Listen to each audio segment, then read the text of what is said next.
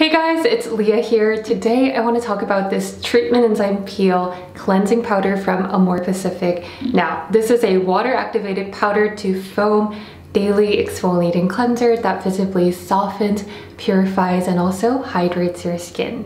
If you are using this for the first time, you might be a little bit confused, but trust me, this is the easiest cleanser to use in fact. So feel free to use it morning and night after removing your makeup. And the bottle is designed to dispense the perfect amount per use, so all you have to do is just place your trust on the bottle.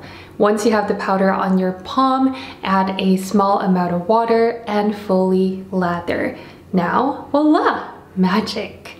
Then massage onto face, avoiding the eye area. Lastly, rinse with lukewarm water. Though it says it is exfoliating, fret not, it is not one of those conventional scrubs. The product is concentrated with green tea derived enzymes which gently remove fine dust, pollutants, and dead skin cells. Your skin would look and feel a lot smoother.